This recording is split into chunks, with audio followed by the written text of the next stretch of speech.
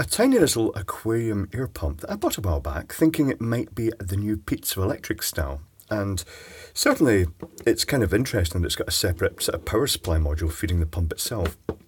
And the specifications for this are uh, 0.9 watt, output 0.45 litres a minute, so about half a litre a minute, uh, and noise less than 35 decibels. And it is very quiet. Let me uh, grab the hoppy here. I'm going to use the hoppy because it's very hard to fit these tiny pins into the standard uh, death adapter, but they do seem to fit in the hoppy quite well. So let's uh, get the hoppy to power up here. I shall plug it in. That's it running. It is very quiet. Uh, 7 milliamps, 1.5 watts, and about 0.8 power factor, which isn't too bad. So, uh, yeah, okay, it's quite quiet. It comes with the Airstone hose. There's airflow. I couldn't tell you how much airflow there is.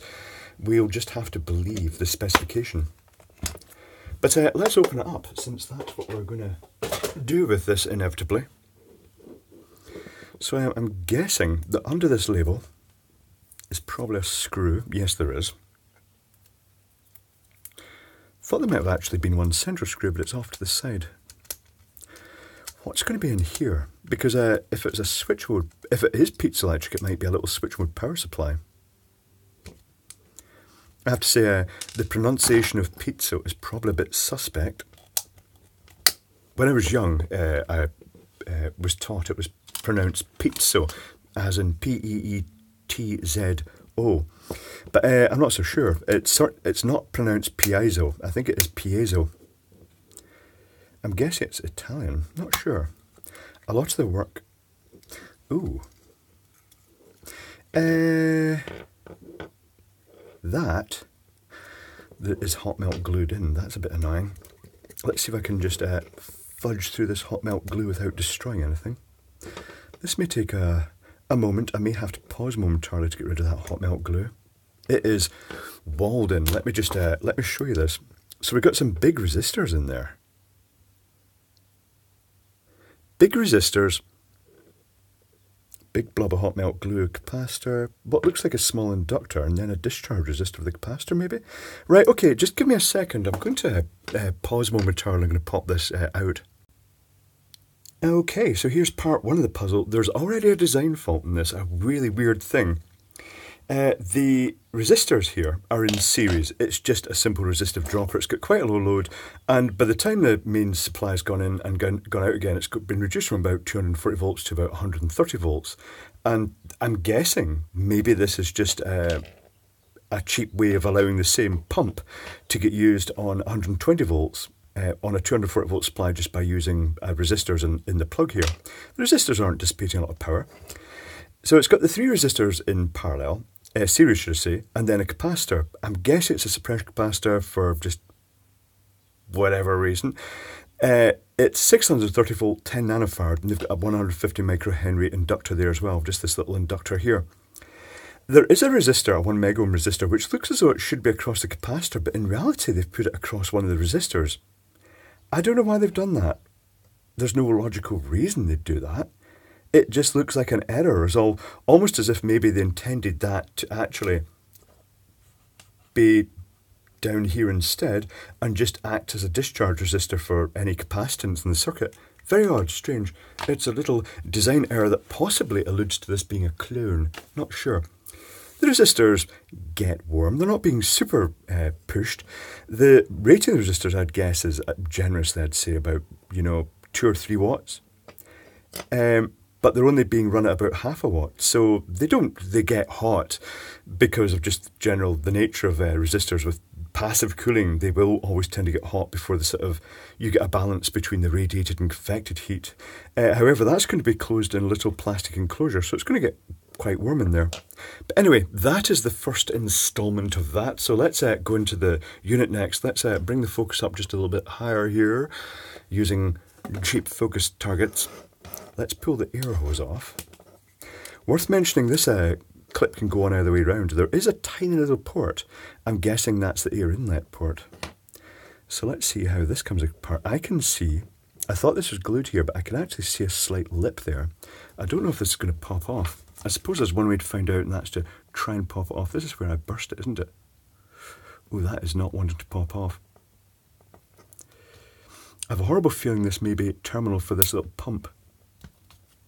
But uh, this is why I bought it. It's so I can open it up and then you don't have to open it up yourself. If you want to get one of these, I have a horrible feeling this thing is glued shut. I may have to use unreasonable force. It's already make, making plaintive cracking noises. I'm not sure that it's supposed to be making plaintive cracking noises. I don't see any sign of screws or anything that I could take out. I may have to put this in the vise of knowledge and give it a quick squeeze. I think I shall put it in the vise of knowledge and give it a quick squeeze and see if I can crunch it open a bit. Oh, other way, other way, spin.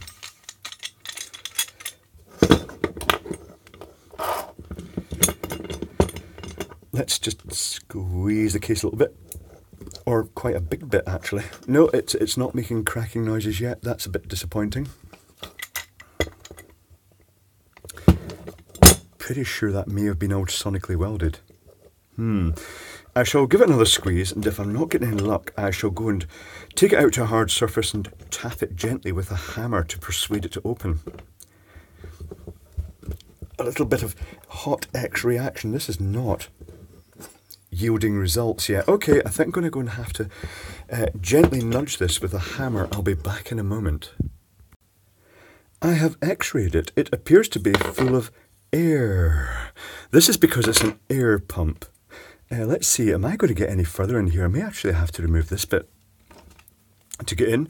Uh, this might be a little bit tougher. I may have to go out and smack with the hammer again. There's no nice way to put it. I think that is about to get prized with screwdriver and thoroughly tapped about because this thing is well glued together. I don't think this is going back together again. Uh, shall we? Shall we just use brute force right now? Yes, let's use brute force. Let's bring in my schnips here. Oh, uh, a big screwdriver, big flat blade screwdriver. Do I have such a thing here? No, I don't. Uh, not here because all the big screwdrivers like that are through my the workshop for the big boy work. This is uh, having better results. It's piezoelectric. That is very, very interesting indeed. It's just a disc of piezoelectric material that is driving a diaphragm up and down, I guess. How is this fastened in? I'm going to tame the exposure down a bit here because it is just a wee bit ferocious at the moment, particularly with that reflective object. Let's uh, just nudge it like that and try and tame it down. But I'm competing with black versus piezoelectric disc here.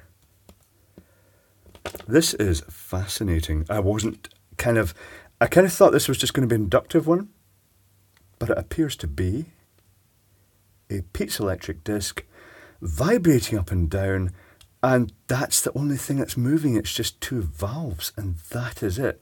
That, I wouldn't have thought there'd be enough deflection. That is extraordinary.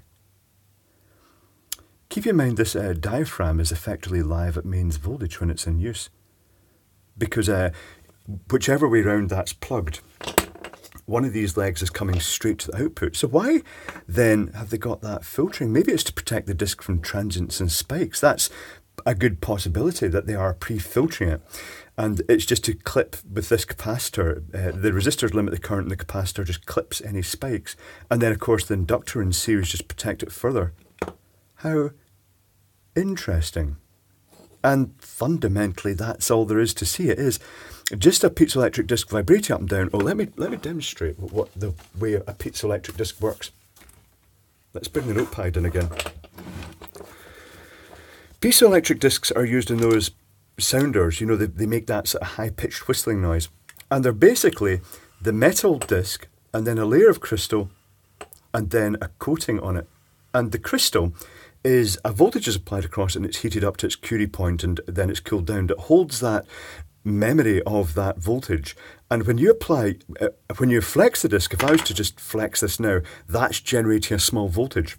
But when you apply voltage to it, it will actually cause the disc to deflect up and down. So it'll curve up that way and then it'll curve down that way, but only a tiny amount.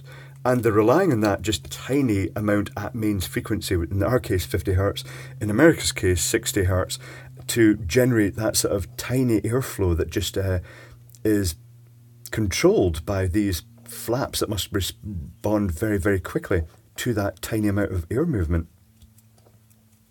Let's see if we can get the... Let's get in closer and see if we can get these out. This is where black is just not a great colour for filming because, uh, because it's very black, fundamentally. So we've got a little plug in here.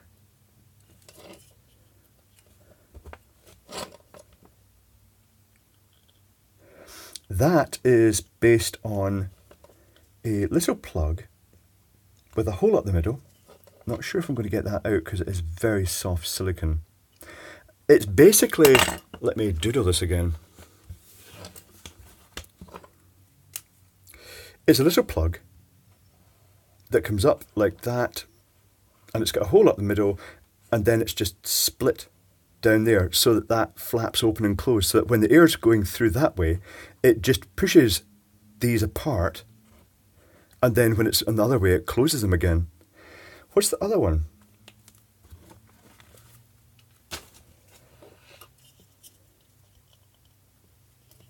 Same again. So two identical little plugs, so get one out here, that just part like like piss flaps, really. They're just tiny little uh, thing that parts there. It's got a tiny slot in it. And it lets it out and then closes again. That's just extraordinarily simple, isn't it? And I'm guessing that in America, if they've got anything in, a, in the little plug, they might just run it direct off 120 volts. But if they've got anything, it might just be uh, interference suppressor to try and maybe take the transients off and protect the disc. That's interesting. Very interesting. Then all you've got after that is this little reservoir here, uh, just to act as a buffer, I guess, and allow it to uh, build up the pressure to push along the airline uh, and out the stone. Because without that, without the uh, air diaphragm, it might actually just that tiny amount of airflow, it might just buffer in the tube and it might never actually be able to push a decent amount of air, amount of airflow through. But with this reservoir, it's like uh, what do they call those things? Uh, pneumatic rams, the ones where the they rely on water hammer to push air, and they've got a little diaphragm uh, inside and an air sort of air pressure vessel to try and keep pressure on that to even it out. And it's almost like an air capacitor, if you will. It just holds a, a consistent pressure in here for pushing out. Very interesting. Without that, oh, they could have actually made this thing super wafer thin. It could have been about half as thick, but uh, it kind of needs that as the buffer to make it work. So there you go, a piezoelectric air pump that relies purely on this piezoelectric disc flexing backwards and forwards to actually move the air. That is fascinating. A little correction. I thought this reservoir was an output side, but this little plug here, this is actually the output side. And the reason it's got a plug is just to allow easy manufacture of this, because that's the actual outlet port there. So when the diaphragm is pushing down the way and it compresses the air, it lets it out into the output here and that's just a closed cavity and then it pushes it along the hose. The air inlet is odd because uh, the air comes in this tiny, tiny little hole in this and it comes in at the back just over the cable port here by the look of it. If I'm getting that right, I think I am. Uh, and that then comes through that hole where the cables are going through, finds its way through this cavity here, and uh, this is the, the input side. I'm wondering if there's some resonant cavity thing going on here. I wonder if it has to be this size or it could be made much smaller. Or maybe that's a safety feature to give it a longer path, although I wouldn't expect because it is fairly close to the diaphragm, the live diaphragm, uh, after it's gone through that hole. Uh, I was just thinking if water ended up getting through the thing. Um, I don't know. I'm guessing there must be a reason they've made it so big. Is it purely because uh, it facilitates the manufacturing that allows them to fit in these sort of deeper uh, ports, the the air valves, and the sort of outlet pipe, or is there a reason? Is it is it an actual physical cavity designed to uh, buffer the air and make it easier for the disc to uh, blow that air through. If it is, then it must have taken quite a lot of experimentation to actually get that. But yeah, very, very interesting, very interesting detail. If you enjoy this type of video, this sort of tear apart and analysis, uh, then remember to subscribe because I do produce quite a lot of these videos.